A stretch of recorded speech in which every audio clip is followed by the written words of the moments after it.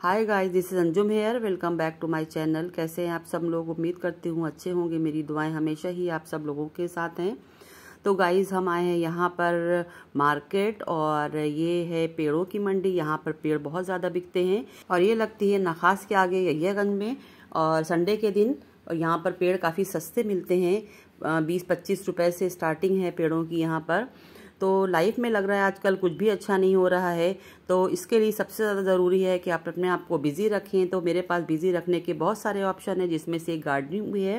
Guys मेरे वो subscriber जो मेरे ब्लॉग्स को रेगुलरली देखते हैं, वो ये ज़रूर जानते होंगे कि मुझे गार्डनिंग का शौक़ है और टाइम मिलने पर गार्डनिंग मैं ज़रूर करती हूँ। तो मुझे टाइम इतना ज़्यादा मिल नहीं पाता है क्योंकि स्कूल है, घर है, उसके बाद वीडियो बनाना है और सबसे लास्ट में गार्डनिंग के लिए टाइम निकलता है। तो कभी भी जब छुट्टी होती है और टाइम मुझे मिल जाता है तो मैं अपना शौक़ ज़रूर पूरा करने की कोशिश करती हूँ। तो आ, मैं आ गई थी यहाँ पर कुछ पेड़ लेने के लिए क्योंकि इधर मैंने काफ़ी दिनों से पेड़ों की देखभाल नहीं की और मेरे बहुत सारे पेड़ सूख गए थे इधर गर्मी की वजह से। अब बारिश आई है तो पेड़ फिर से सही हो रहे हैं। तो मुझे लगा कि सबको सही करना चाहिए और जाड़ा आते आते मैं लास्ट ईयर की तरह मैं अपने पेड़ों को फिर से रिवाइव कर लूँगी और बहुत अच्छे से मैनेज कर लूँगी। तो गाय मुझे ऐसे फ्लावरिंग प्लांट पसंद हैं जो खुशबू वाले हों जैसे गुलाब है बेला है रात की रानी है चंपा है चमेली है ये सारे। तो ऐसे ही पेड़ मेरे यहाँ लगे भी हैं और मैंने जो लिए थे, आज वो भी इसी तरह के पेड़ मैंने लिए थे।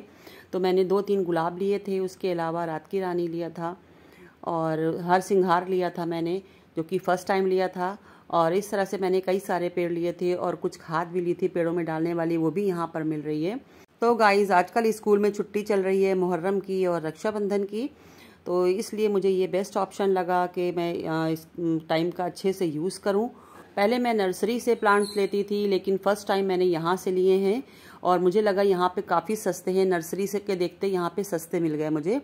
तो मेरा काम हो गया था और मैं यहाँ से घर के लिए वापस निकल आई थी। तो छुट्टी की मॉर्निंग का एक बहुत अच्छा यूज़ था ये। और मॉर्निंग में आने पर यहाँ पर बहुत सस्ते में मिल जाता है जो भी सामान आपको लेना हो।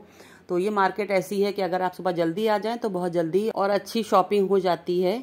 तो गाइज़ अब हम पहुँच चुके हैं घर अपने। तो आइए हम आपको दिखाते हैं मेरे छत पे पेड़ों का क्या हाल है। मेरे पास कच्ची ज़मीन है नहीं और इसलिए हमने गमलों में छत पे पेड़ लगाए हुए हैं। पहले भी हमने आपको बताया था और उन पेड़ों का हाल इतना बुरा हो गया है। ये देखिए, अब इनको मुझे सब सही करना है इसी छुट्टियों में और इसीलिए हम पेड़ और लेकर आए हैं। जो सूख गए उनको हटाएँगे और जो सही हैं, उनको लगा रहने देंगे। तो कई सारे पेड़ जो हैं, वो हमारे अभी भी सही हैं और उनको जो है वो खाद वगैरह डालकर ही सही हो जाएँगे वो। तो इस तरह से ये है हमारा पेड़ों का हाल। और इसके अलावा मुझे गमलों को भी पेंट करना है वो भी हम आपको दिखाएँगे। तो ये है हमारा सुबह का नाश्ता। उसके बाद मैंने अपना नाश्ता बनाया था तो हमारी बन रही है चाय। और चाय के साथ ही हम बना रहे हैं सब्ज़ी और रोटी। और ये मेरी रोटी भी बन रही है, देखिए। और साथ में मैंने बनाई है सब्ज़ी। तो ये गरम गरम नाश्ता आज का रेडी है। तो गाय मेरे हस्बैंड रोज़ रोज़ पूरी या पराठा खाते नहीं हैं तो डेली के नाश्ते में इसी तरह का नाश्ता होता है कि रोटी में हल्का सा घी या मक्खन लगा करके और उसके अलावा साथ में सब्ज़ी या ऑमलेट और उसके अलावा जो है साथ में चाय।